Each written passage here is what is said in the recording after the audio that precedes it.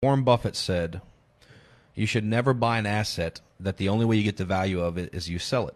So, and he did an example. The amount that you could buy a brick of gold was the same amount that you could have bought a two bedroom home. So you take the brick of gold and you put it in your safe. Once a week when you had people over for Sunday dinner, you take them in there and you say, look at my brick of gold. It's beautiful. Look how shiny it is. And you held that brick of gold for a hundred years. It didn't spawn new gold. The only way you extract the worth of it is you sell it, which means you no longer have the asset. Whereas if you'd owned a two bedroom home, you could have rented the home out.